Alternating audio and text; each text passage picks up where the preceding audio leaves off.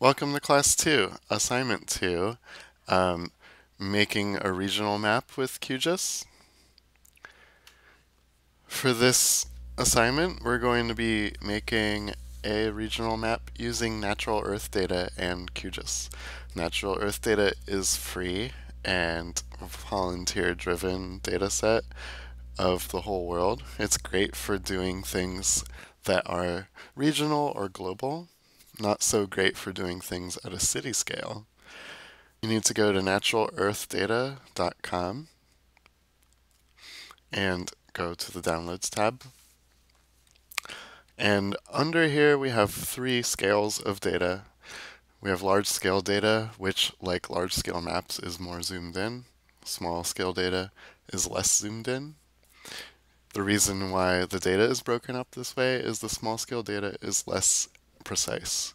So you can't see too well here maybe.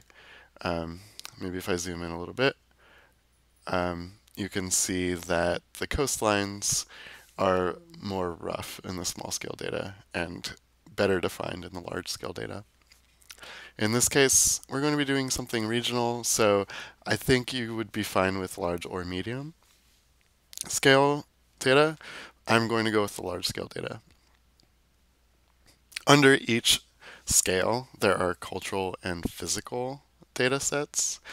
Cultural, maybe obviously, is things like place names and urban areas, things that humans have done. Uh, the physical side is more land, water, glaciated areas, things like that. And the easiest way to get going with this is just to go to both the cultural and the physical. And up at the top of the page, there's a button that's download all. And click download all. That's going to take a couple of minutes because it's about 200 megs, but that is the quickest way to get going with natural earth data. Make sure you do that for both cultural and physical at the large scale. Once you've got that, you might have a file a folder that looks like this once you unzip it. Um, I created a folder called Natural Earth in my file system, and I've downloaded a bunch of Natural Earth in here, um, way more than you're going to need for this assignment. You're probably just going to need these two, the 10M cultural and 10M physical. And if you open one of these and dig down, you see a bunch of shapefiles in class we talked about shapefiles. I'm not going to get into it too much here, but basically these four files that all have the same name but different extensions are part of one shapefile. QGIS is smart enough to be able to open a shapefile just by clicking on the SHP. So we're going to go over to QGIS Make sure you have QGIS installed. You can get it at qgis.org if you don't already have it installed, but I'm not going to cover that in this class, in this video rather. Once you open QGIS, you'll have a window that looks a lot like this. Up at the top you have the browser, and on the bottom you have the layers. No layers yet. Um, the quickest way to get going in QGIS is go in drill down to the folder with your data, right click on it and add as a favorite. Once you do that, it's always going to show up here under favorites and you can see that I have a data folder that happens to contain my natural earth data so it's quick and easy to get to. Once you've done that, let's open up the countries file. You can do that in this browser just by double clicking on the shapefile. Bam, it's open. Um, as we talked about in class, you can style this to your heart's content. In this case, um, sorry, let me do that again. I double clicked on it and that will open the properties window for the layer. But you can right click on it also and go down to properties. They both do the same thing. And um, the tab that's usually open is the Style tab. And you can pretty easily go in and pick a color that you like for land. I want something maybe brownish. Uh,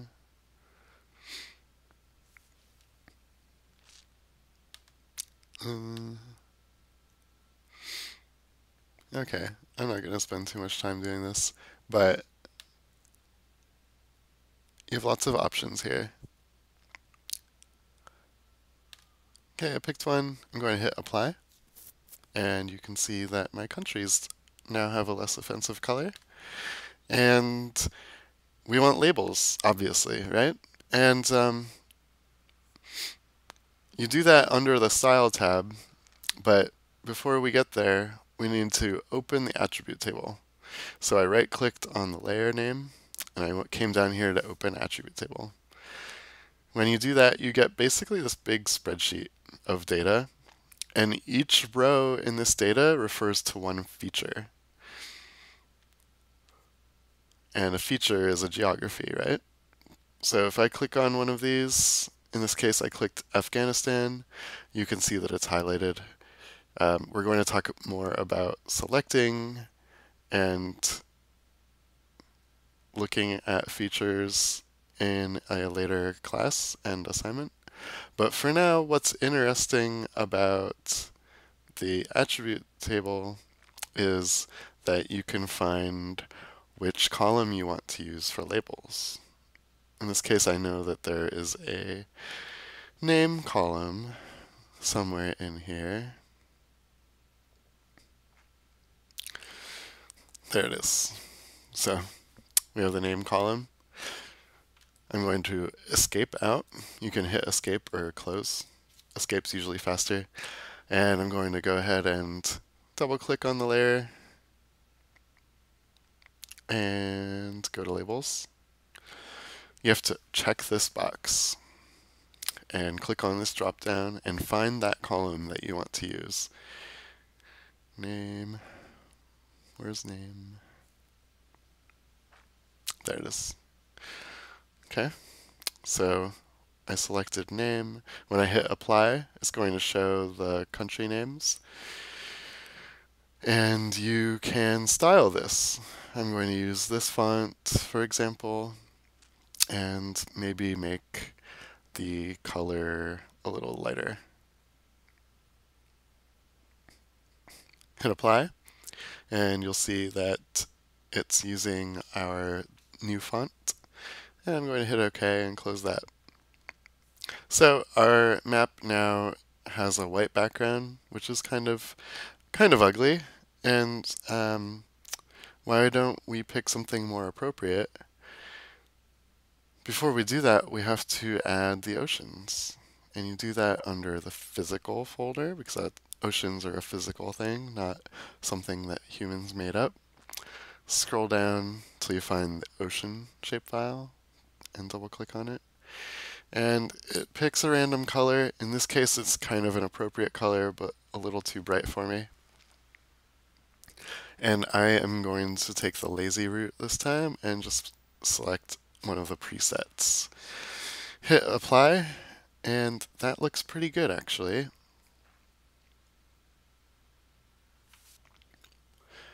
Okay, uh, it would also be nice to label the oceans.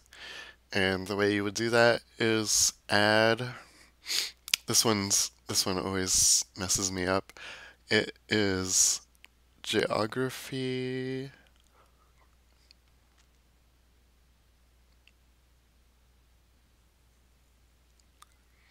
Is it geography marine polys? I think it is. Okay, so so what this does is it breaks the oceans up into areas. Um, that's not super useful in this case because we don't want lines between oceans.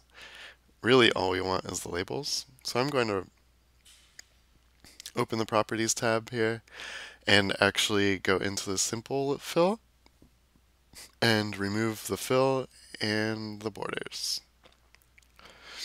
And when I hit apply, everything should disappear from this layer, which is great. And then I want to go to the labels, check that box, use the drop down to find the name, not name alt, but the name, and hit apply. Great. So now we see that um, we have oceans and seas labeled. Let's pick a slightly more appropriate color for the labels. Let's pick something blue. That might be a little too neon. Dark is good though. Let's apply and see how that looks. That's slightly better. Um, clearly this is this is up to you. This is a stylistic thing, but um, maybe make it a little bit smaller too.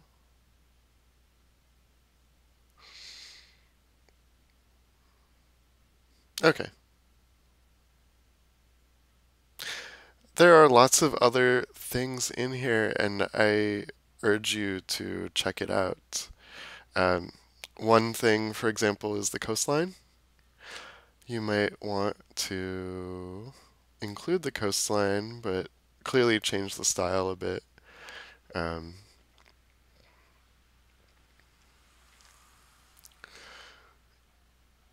you could use basically the blue that we're using to style the labels.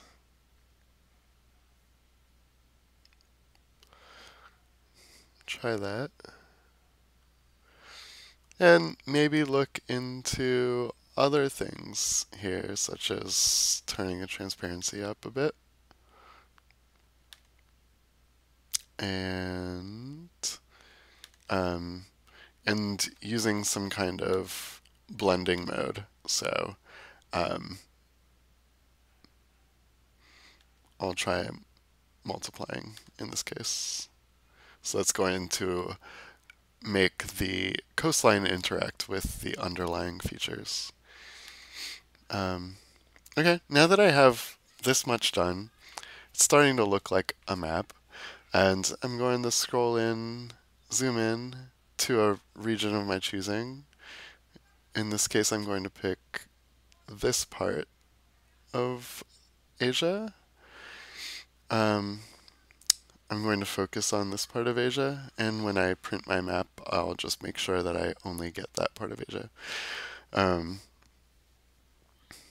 all right, so what else should we add? I think it can be nice to see urban areas. And if you look under the cultural folder, you can see that we can add urban areas um, and a land scan version. Um, although I'm not quite sure what land scan means in this case. Open up the attribute table. Hmm. It seems very, very crowded. But that might be right.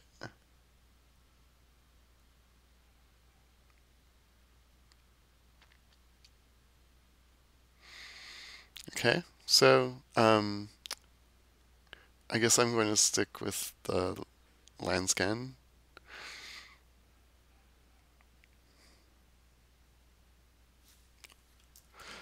If you're curious about what any of these are, they usually have readmes that come with them.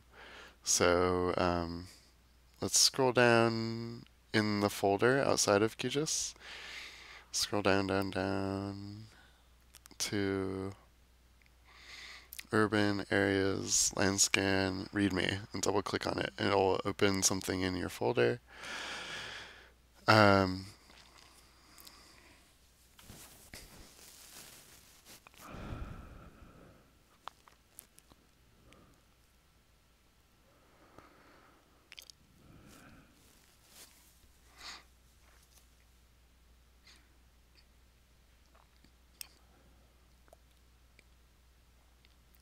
So here you can read more about where the Landscan data comes from and um, why they think it's useful. So there is a PopMax column um, that they're saying could be useful, and they'd let you know who creates the Landscan data. Um, they convert raster to vector and pixels with fewer than 200 persons per square kilometer were removed from the dataset. They were classified as rural. So we do know, having read the README, that this is a pretty appropriate layer to be using. And now we just need to make it look more appropriate. Um, usually you basically want the land color but maybe like a little darker like this. and maybe we don't want the boundaries, the lines.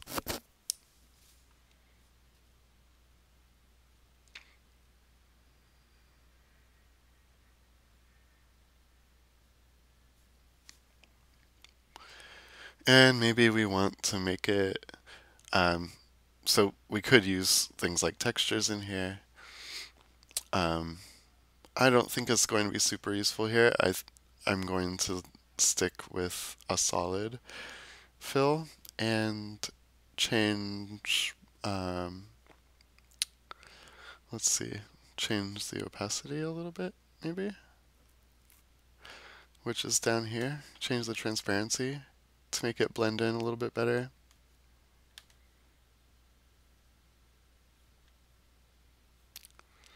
Let's turn it way up, actually.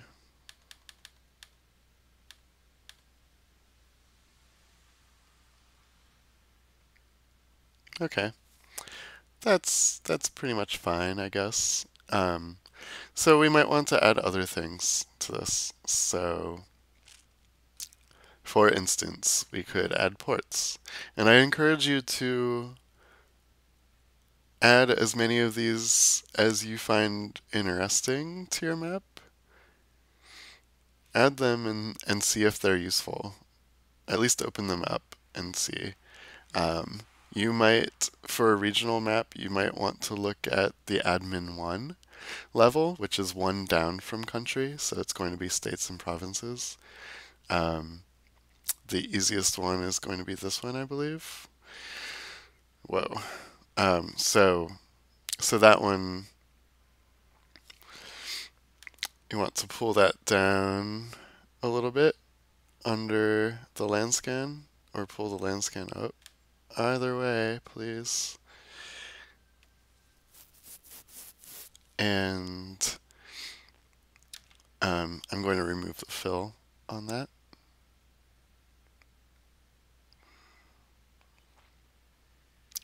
By going to the simple fill and saying no brush. But I'll leave the border. Maybe I'll downplay the border a bit. Um, and the simplest way to do that is just going to be to up the transparency here.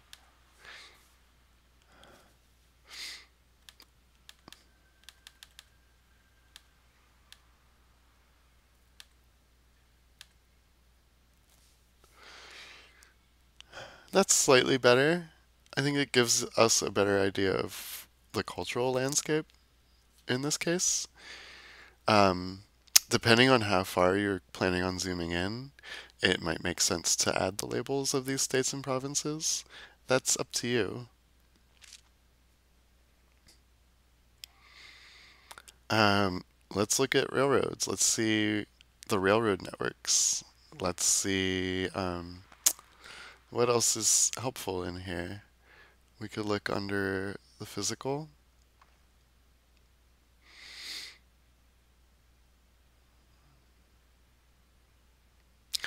It might be useful, depending on what you're doing, to see the graticules.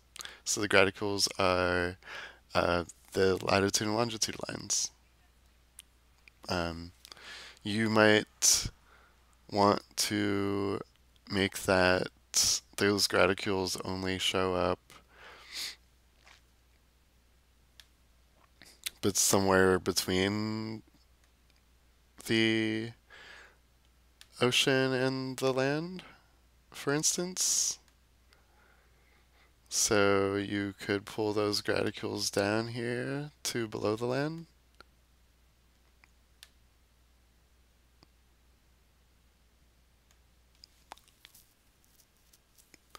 And you'd probably want to style those a bit to make them blend in even more. Um, so I know I'm making kind of an ugly map, but I expect a lot more from from your maps. I'm just showing you an example of of how this works. Um, okay. So let's say, for the sake of argument, that I'm pretty, that I'm happy with this.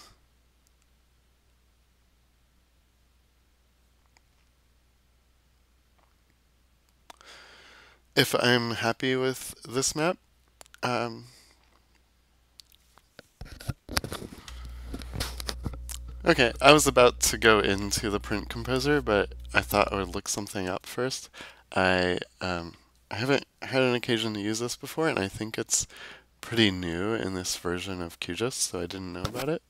Um, but um, if you want to add some texture to your oceans, and I think um, they often benefit from having a little bit of a distinction at the coastline. Um, You'll see what I mean in a second. You can open up that layer, the oceans layer, click on the simple fill, and change the symbol layer type. Uh, there are a bunch of different ways you can go about this. There are gradients. There are, um, you can fill just the centroid, which is the middle part. Um, but basically, I want to pick the shape burst. And what this does is it creates a gradient. Um, and you can say that that gradient should only last out, say, three meters, three millimeters rather, from the edges. And I'm going to pick two colors for it, or maybe what's under the color ramp. Let's check the color ramp first. There might be like a good blues. Um, that's kind of dark. Yeah, that's a little too dark but we can start, we can do something like that. So I'm going to go from white to, so white at the boundaries of the oceans to something bluish like this. And when I hit apply, you'll see what I'm talking about. So at the edges, you can see that there's a little bit of, that it lightens up near the land. I think that looks pretty good usually. Um, but that's, absolutely something you should play with and try out. Okay, so now let's say I'm totally happy with how this is looking.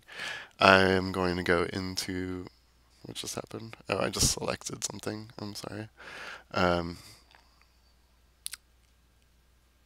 so I just deselected that. Okay, so let's um, go to the print composer. It's under project, new print composer. Make sure you save this at some point so you can go in and change it or maybe it crashes or you want to print it. Uh, you want to make another print composer for it later. Um, I'll just save this on the desktop. Um, okay, so um, so remember you go to projects, print composer, new print composer rather. Give it a name, and this gives us a big big blank page. And I'm going to pick the add a new map tool on the left and draw a big box where I want my map to go. And it's going to put the map that we were just working on in this box. It's going to give us, uh, by default, it gives us the area that we were working with. And you can move item content if you click this. And this actually moves the content within the frame.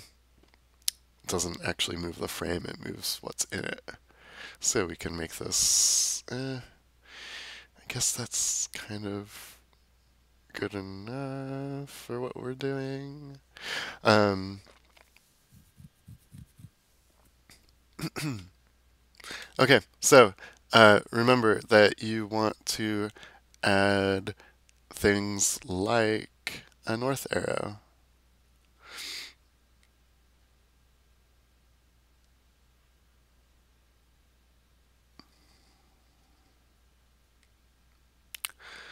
Or maybe you're not super happy with that and you want an image. And there are some images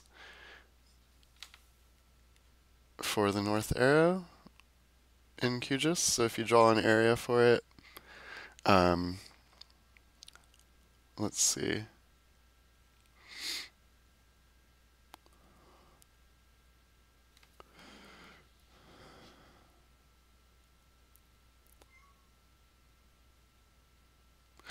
Right, under search directories, you can scroll through this and find a north arrow. Uh, let's say, let's say I like this kind of classic compass rose.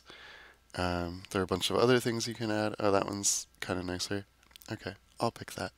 And um, so there are lots of other options here. You can turn off the background. You can turn on or off a frame. Um,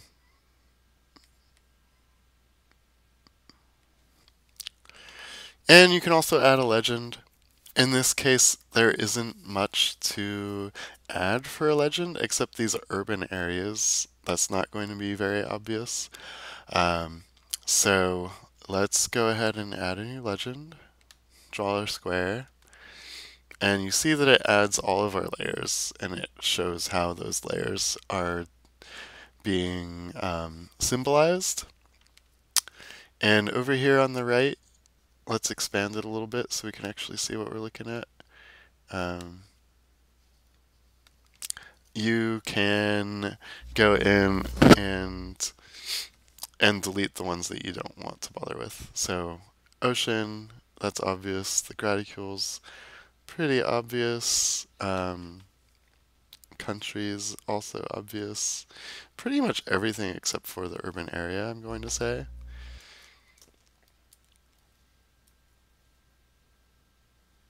Now, oops, I just deleted the legend. So I'm going to redraw it and delete everything but uh, I just did it again. Okay. So make sure you're not hitting the delete key because delete just deletes the thing that you're editing, not the things that you have selected. Okay, so I'm deleting that, deleting the coastline, and then I'm going to click the edit button on this one and say urban areas. Great. And um, you can change the the legend text here. You can um, you can change the fonts to your heart's content. Please do. Um, usually you're going to want to keep I don't know, you're going to want to place this in a way that makes sense for you. And maybe let's make the background a little bit less ugly here. Uh, hmm? Should be able to change the transparency. So one way you can change the transparency is by through the alpha channel. so I can reduce that a bit.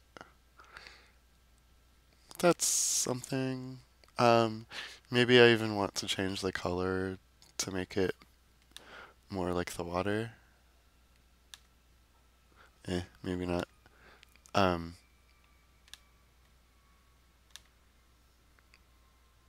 Maybe.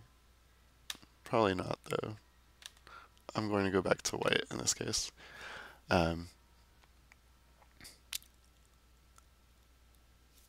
and also add a label. Um, I'm going to keep it with my legend and say South Asia. Um, make sure that it's clear that it's the title, so make it a bit bigger.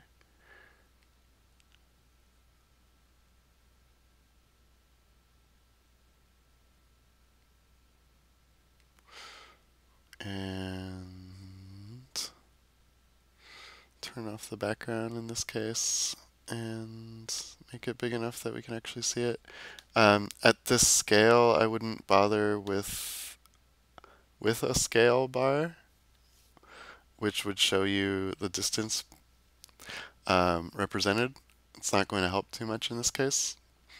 Um, so this isn't the greatest looking map I've ever made, but I think it gives you an idea of how this works with QGIS. I hope it's been informative for you. Um, one last thing, obviously you can you can save this project and you can export this as a PDF. And I'll do that on my desktop. Call it essay.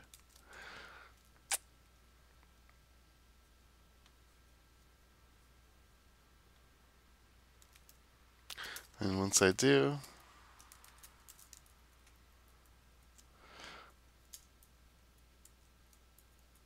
I'm going to open it up and you see this map that we made together. Um,